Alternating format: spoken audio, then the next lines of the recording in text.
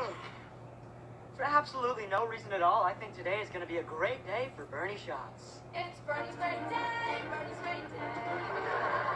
Yeesh, I've never seen bedhead like that before.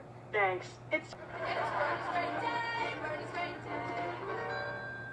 sweet. Someone liked my video. That was an accident.